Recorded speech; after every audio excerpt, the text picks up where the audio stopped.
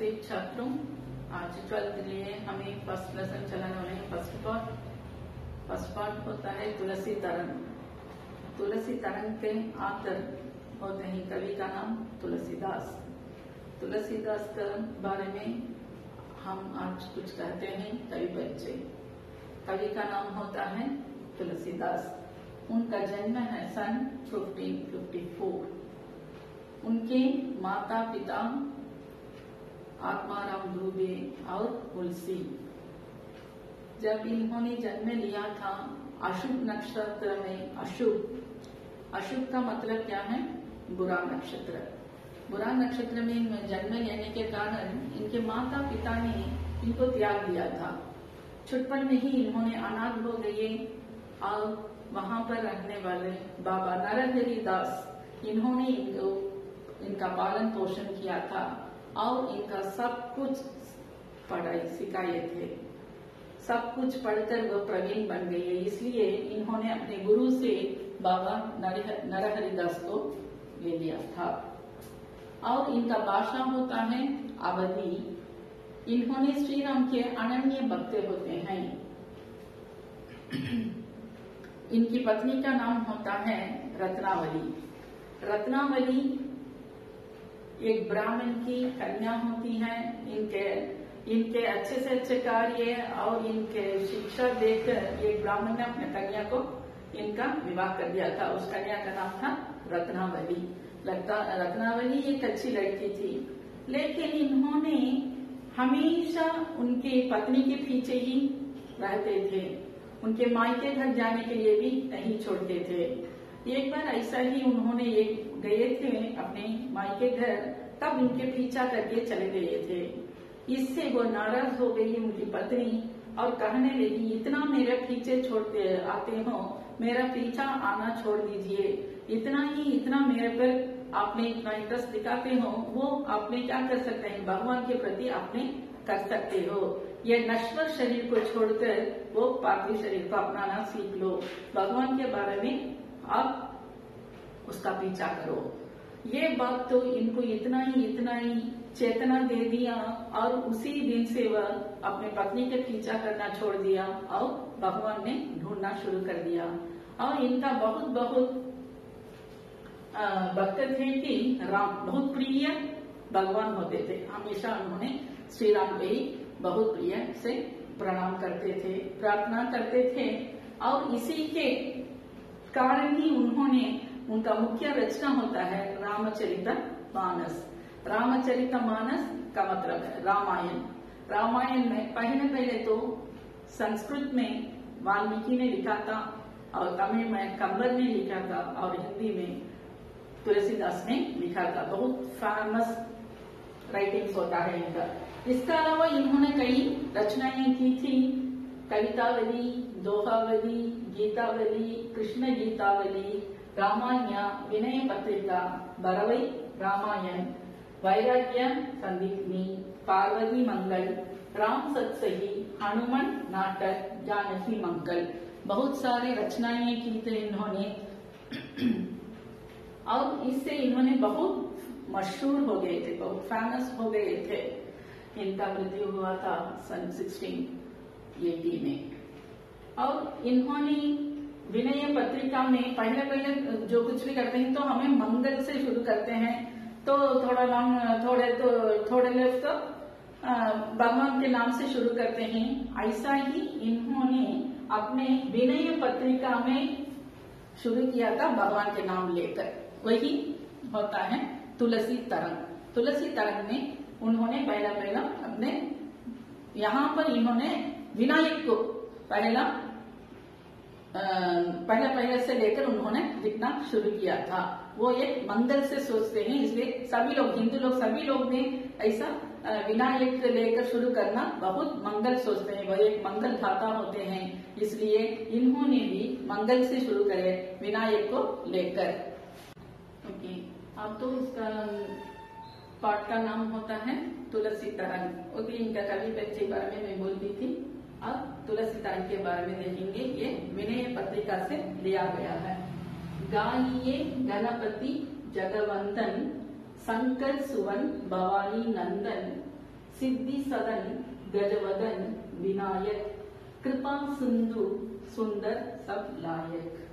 मोदक प्रिय मुद मंगल दाता विद्या वारिधि बुद्धि विदाता मांग तुलसीदास कर जोड़े वसही, राम सिय मानस मोरे। ये पहले पहले किससे शुरू किया था? ऐसा कह, बोली थी कि नहीं, विनायक से। विनायक, गणपति से। गणपति से ही इन्हें शुरू किए थे। और गणपति नाम लेकर इन्होंने अपना विनय पत्रिका शुरू किया था। गाइए गणपति जगवंदन जग का वंदन गणपति को लेकर शुरू करते हैं। शंकर, सुवन, भवानी, नंदन। शंकर शंकर का मतलब होता है शिव। वे शिव के पुत्र होते हैं और शिव का वाइफ उनका भवानी नंदन, उनका पार्वती का पुत्र भी होते हैं। शंकर सुवन, शिव का पुत्र और भवानी नंदन, पार्वती पुत्र। सिद्धि सदन, गजवदन, विनायक। सिद्धि सदन, सब सिद्धियाँ भी हमें प्राप्त कर देते हैं। सब सिद्धियाँ भी हमें प्राप्त कर देते हैं। गजवदन। गजवदन मतलब गज का मुख वाला गणपति का फेस ऐसा होता है, गज एलिफेंट जैसा होता है, उसे लंबोदर भी कहते हैं। गजवदन विनायक। कृपा सिंधु सुंदर सब लायक। हमारा कृपा सब जो हमें करते हैं गुण सब माफ़ करने वाला है। वो एक सागर जैसा होते हैं। हमारे सा इतना बड़ा कृपा कभी वो माफ़ कर देते हैं। मोदक प्रिय मुद मंगल दाता। इनका बहुत प्रिय होता है मोदक। हमेशा मोदक खाते रहते हैं और मुद मंगल दाता। मुद मंगल दाता मतलब शुरुआत। तो शुरुआत करना मंगल से शुरू करते हैं, इसलिए इनका शुरुआत से सब लोग भी इनका गणपति को ही रखकर शुरू करते हैं। ये मंगल से होता है, ये इसलिए मंगल दाता कहा जाते हैं। विद्या वारिधि बुद्धि विदाता विद्या, शिक्षा। शिक्षा का इन्होंने शुरुआत होते हैं। इनसे ही शिक्षा हमें प्राप्त होती है। ये शिक्षा वारिधि है, हमें बुद्धि भी इससे ही इनसे ही मिलती है। मांगर, तुलसीदास का जोरे इतने फीचर्स होने वाले गणपति से तुलसीदास ऐसा प्रार्थना करते हैं कि, हे गणपति मेरे दिल में हमेशा के लिए राम सीता वास करे। इनके प्रिय भगवान कौन है? राम, श्री राम होते हैं इसलिए गणपति से इन्होंने ये प्रार्थना करते हैं कि हमेशा के लिए मेरे दिल में राम सीता वास करे। गालिए गणपति जगवंदन शंकर सुवन भवानी नंदन। सिद्धि सदन गजवदन विनायक। कृपा सिंधु सुंदर सब लायक। मोदक प्रिय बुद्ध मंगल दाता विद्या वारिणी बुद्धि विदाता मांग तुलसीदास कर जोरे बसही राम सिय मानस मोरे अपने प्रिय राम सीता हमेशा उनके दिल में वास करने के लिए इन्होंने गणपति से ऐसा प्रार्थना करते हैं। और हम पहली पंक्ति में यह हो गया, खत्म हो गया, और दूसरी पंक्ति में देखते हैं राम सीता के बारे में। जाके प्रिया न राम बैदेही। राम श्री राम कहते हैं और बैदेही उनकी पत्नी सीता को कहते हैं। जान के प्रिय, जिसको ही लोग राम से प्रिय नहीं होते हैं, राम को नहीं प्रणाम करते हैं तो उनको छोड़ देना। ऐसा कर देते हैं, वो कोई भी होता है, कोई बाप होते हैं, माँ होते हैं, भाई होते हैं, कौन होने पर भी छोड़ देने को कहते हैं। जाके प्रिय न राम बैदेही राम और बैदेही राम और सीता को कोई को जिस लोग नहीं प्रणाम करते हैं, उनको छोड़ देना। तजिए ताही कोटि बैरी संग जगति परम सनेही। तजिए ताही कोटि बैरी संग छोड़ दीजिए वो कितनी ही, कितने ही अपना फ्रेंड होने पर भी। इतने ही इतने ही दोस्त होने पर भी उनको क्या कर देना है? बैरी कर देना है। बैरी का मतलब यही तो उनको क्या कर देना है? छोड़ देना है। वो फ्रेंड हमें नहीं चाहिए। इतना ये प्रिय दोस्त हमें नहीं चाहिए। तजिए ताही। इनको छोड़ दीजिए। जदपि परम सने ही कितने ही परम होने पर भी, कितने ही थिक फ्रेंड होने पर भी क्या कर देना है? जो राम सीता को प्रणाम नहीं करते हैं, उनको छोड़ देना। तजियो पिता प्रहलाद। तजियो पिता प्रहलाद, इसलिए ही प्रहलाद भी अपने पिता को छोड़ दिए थे। प्रहलाद के पिता का नाम क्या था? हिरण्य कश्यप हिरण्य कश्यप क्या किए थे?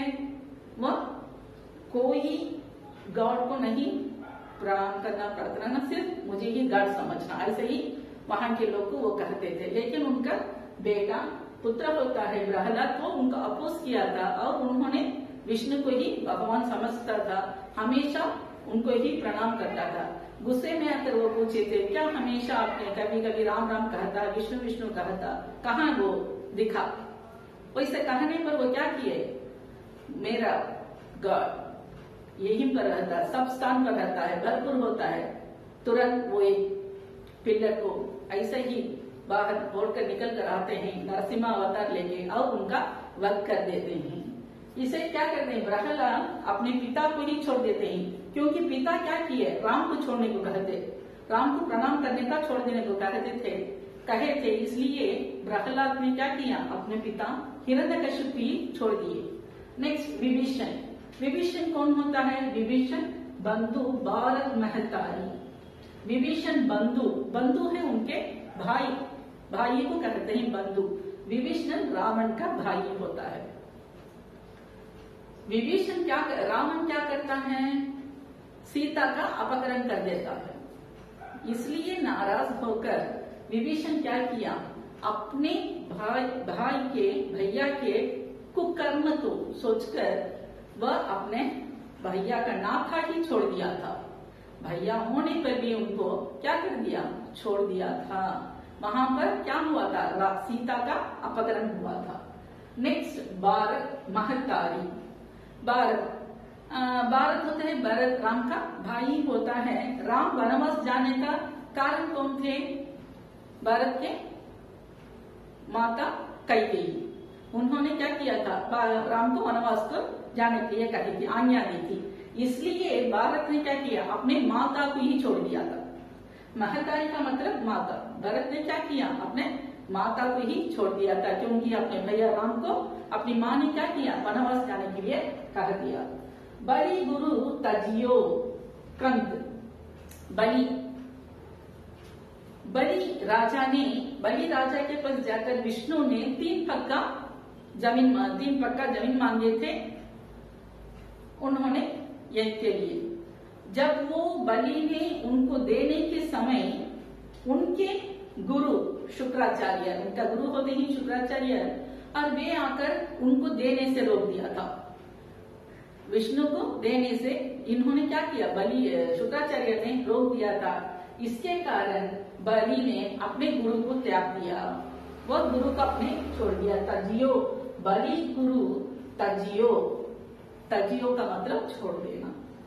कंत व्रज बणितनी बये मृद मंगलकारी कंत वहाँ व्रज में वहाँ पर मथुरा में रहने वाले वो औरतें क्या करी थी श्री कृष्ण के बारे में अपार प्यार रखने के कारण अपने पति को ही छोड़ दिया था उन्होंने क्या किया अपने पति को छोड़ दिए थे वहाँ पर भी राम ही कारण होते हैं राम के कारण से उन्होंने क्या कर दिए अपने पति को छोड़ दिए थे नाथे नेही के राम के मनियत सहृत सुखे, जहाँ लो जहाँ तक हुआ, वहाँ तक, जहाँ तक वो राम और सीता का नफरत करते हैं, उनका प्रार्थना नहीं करते हैं, उनको छोड़ देने के लिए कवि कहते हैं। कवि कहते हैं, जहाँ तक होता है, वहाँ तक उन लोगों को छोड़ देना। अंजन कहा, आंखी जेही फूटे बहुत तक कहूँ, कहा लो, अंजन। अंजन का मतलब आँख में लगाने वाला सुरमा। सुरमा जब सुरमा अच्छा नहीं होता तो आँख में लगाने का क्या ज़रूरत होती है? तब हमें क्या कर सकते हैं? जो हमें लाभता नहीं है तो हमें नहीं होता है तो हमें क्या कर देते हैं? उस थिंग्स को उसे छोड़ देते हैं। ऐसा ही जो दिल को नहीं होता है, जो राम को नहीं प्राण, प्रणाम करते हैं, प्रार्थना करते हैं, उन लोगों को छोड़ देने के लिए कभी कहते हैं। तुलसी सो बांधी परम ही पूज्य। बहुत पूज्य होते हैं। तुलसी के लिए राम बहुत पूज्य होते हैं, बहुत प्यारे होते हैं। प्रांते प्यारो, बहुत प्यारे होते हैं। जासो कोई स्नेह राम पद यतो मतो हमारा। जासो जितना होता है उनके पद में ही रहने का। ये, यही उनका मन कहता है, वही मन उनको सोच देता है। वो कहते हैं कि जितना हो सके सब कुछ को छोड़ देना, और जितना हो सके राम के अनन्य भक्त बन जाना।